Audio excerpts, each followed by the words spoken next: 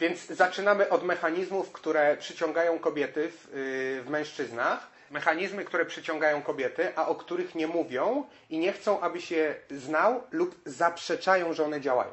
Więc pierwszym z takich mechanizmów jest dowód społeczny. Dowód społeczny to jest sytuacja, w której jesteś atrakcyjny dla innych kobiet i kobieta, której, którą chcesz do siebie przyciągnąć, yy, zaczyna to widzieć.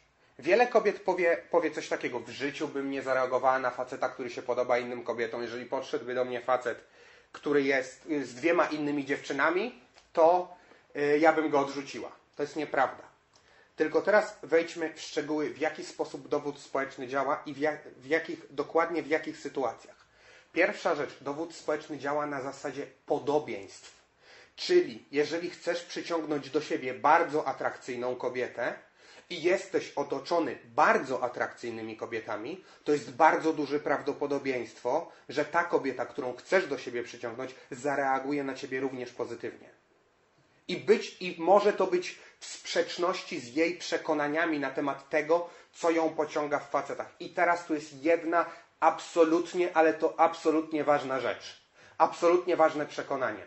To, co kobiety myślą, że je pociąga w mężczyznach, a to, co je naprawdę pociąga, to są często dwie różne rzeczy. Powtórzę to jeszcze raz. To, co kobiety myślą, że je pociąga w mężczyznach, a to, co je naprawdę pociąga, to są często dwie różne rzeczy. Kobiety są bardzo często nieświadome mechanizmów, jakie w nich zachodzą, dlaczego tracą głowę przy niektórych facetach, a dlaczego z logicznego powodu dany facet powinien jej się podobać, bo ma dobrą pracę, bo ma wysoki status społeczny, bo ma wysokie wykształcenie, ale nie dotyka w żaden sposób jej emocji. I teraz kolejna sprawa. Wielu facetów ja spotkałem w życiu, którzy mówili takie słowa. Jak ta dziewczyna może może być z takim facetem? Jak ona w ogóle może, e, może chcieć z nim się pokazywać? I teraz jest taka, taka kwestia. Ci faceci nie rozumieli pewnych mechanizmów, jakie zachodziły w tej kobiecie. Więc dowód społeczny, pierwsza rzecz, działa na zasadzie podobieństw. Jeżeli jesteś otoczony kobietami atrakcyjnymi, to ta dziewczyna, która jest z tej, w cudzysłowie mówiąc, z tej samej półki, będzie reagować bardzo pozytywnie. Dowód społeczny nie działa na zasadzie takiej, jeżeli masz dziewczynę, która jest absolutnie piękna, jest zgrabna, e, zgrabna, śliczna, podoba się, podoba się facetom, a ty jesteś otoczony dziewczynami, które, które są mniej atrakcyjne wizualnie, to w tym momencie nie mówimy o dowodzie społecznym. Nie mówimy o sytuacji takiej, w której ona będzie miała, wow, ten facet y, zareaguje na tego mężczyznę. Nie. E, więc jedna rzecz, podobieństwa. Druga rzecz, dowód społeczny działa w sytuacji, w której ktoś jest niepewny. Jeżeli kobieta jest niepewna siebie, nie wie jak się zachować, nie chodzi do klubu, wchodzi do klubu i nagle widzi, że większość dziewczyn stoi przy jednym facecie, reaguje na jednego faceta, to ona, to jest tak zwany owczy pęd, pójdzie za, za, za tłumem.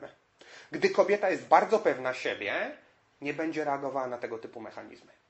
Więc to jest, to, jest, to jest ważne, za pomocą dowodu społecznego można bardzo dużo przyciągnąć do siebie kobiet. Kobiety będą bardzo często zaprzeczać. Tak jak powiedziałem, będą mówiły nie, nie zareagowałabym na faceta, który miał 100 kobiet w życiu. Zaraz przejdziemy i dokładnie wy... omówimy, jak kobiety postrzegają obraz idealnego faceta. Więc to jest jedna rzecz, dowód społeczny. Jeżeli zademonstrujesz Y, nie na zasadzie chęci zaimponowania kobiecie, ale przekażesz informacje, nawet w podtekście, w swojej komunikacji, w historiach, które opowiadasz, że jesteś atrakcyjny dla innych kobiet. Że są kobiety w Twoim życiu. Że są dokładnie kobiety w Twoim życiu i to są kobiety atrakcyjne. To jest bardzo duże prawdopodobieństwo i te kobiety przede wszystkim, co jest najważniejsze, te kobiety Ci ulegają. To ona z, będzie podążała za tymi zasadami, jest większe prawdopodobieństwo, że ci ulegnie. Że ona będzie ciebie chciała. Dokładnie, więc to jest bardzo ważna rzecz. Kolejny podpunkt, kolejny taki mechanizm, który przyciągania, o którym kobiety nie chcą, abyś wiedział, to jest zazdrość. Jeżeli, kobiety wręcz mówią, że nie cierpią że, czuć zazdrości, że, nie, że, nie że nienawidzą czuć zazdrości, a jest... Że nigdy nie są zazdrosne o faceta swojego i tak dalej. Jest zupełnie na odwrót. Jest zupełnie na odwrót. Jeżeli już kobieta jest tobą zainteresowana, ta chemia wzajemna zaczyna narastać, jeżeli podejdzie, załóżmy, do ciebie inna kobieta, położy ci rękę na e, klatce, zacznie z tobą rozmawiać, to ona ewidentnie to odczuje. I ty, jeżeli Jeżeli nie siedzisz w swojej głowie, też zobaczysz tą reakcję. Gdy kobieta, za... Tak, gdy kobieta zaczyna przywiązywać się do rezultatu, jaki chce uzyskać z tą, co mam na myśli, że wkroczył w jej życie interesujący mężczyzna, który zaczyna się jej podobać. Ona zaczyna, zaczyna wewnętrznie przywiązywać się do rezultatu z tym facetem. To znaczy, chciałaby, aby ten facet stał się e, jej mężczyzną na wyłączność. To jest bardzo ważne. Na wyłączność. Dlatego kobiety, mechanizm kobiet jest często monogamiczny związek. Więc to jest absolutnie ważne. Ale zazdrość, co robi zazdrość? Jeżeli, załóżmy, jesteś w klubie, poznajesz dziewczynę w klubie, to jeżeli masz do wyboru zazdrość albo napalenie dziewczyny, to zawsze wybieraj zazdrość. Pamiętaj, zawsze wybieraj zazdrość. Dlaczego? Dlatego, że gdy kobieta jest o ciebie zazdrosna, gdy inne kobiety zabiegają o twoje względy, to ona w tym momencie zaczyna zdawać sobie świadomie sprawę, jak bardzo ją pociągasz. To jest absolutnie ważne. Poprzez zazdrość, gdy ona czuje, czuje na początku y, tą, tą, tą, tą mówię, nutkę zazdrości, zdaje sobie sprawę, że jesteś dla niej pociągającym facetem. Okej, okay. Kolejna rzecz, której, yy, o której kobiety mówią, że jej nie lubią, ale ona działa. Ona działa i działa wręcz niesamowicie. To jest pewność siebie na granicy arogancji, a samoakceptacji. Co mam przez to na myśli? Czasami musielibyśmy tutaj bardziej yy, głębiej wejść w, w testy. Natomiast zostawmy to.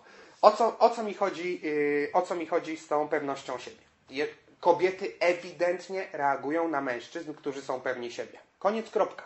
Jeżeli znasz swoją wartość, nie, zastana- nie masz procesów w głowie takich jak czy ja jestem fajny, czy ona mnie zaakceptuje, czy ona mnie polubi, czy polubią mnie jej znajomi, czy na nią zasługuje. Jeżeli nie czy masz ona, tych... Czy będzie chciała ze mną być? Dokładnie. Jeżeli nie masz tych procesów, tylko wychodzisz tak, okej, okay, ta dziewczyna mi się podoba, idę, idę po nią chce, chce ją mieć w swoim życiu. Jeżeli masz, idziesz na zasadzie takiej jak zdobywca, który idzie po swoje, e, mówimy tutaj stricte o podejściu bezpośrednim, i nie ma w tym powątpiewania, to ona na to zareaguje bardzo pozytywnie. Być, co ja mam na myśli mówiąc pozytywnie? To nie znaczy, że rzuci ci się na szyję, pocałuje cię, złapie cię za rękę i powie chodź, idziemy do mnie, albo chcę, żebyś był moim facetem na resztę życia. Nie, nie, nie.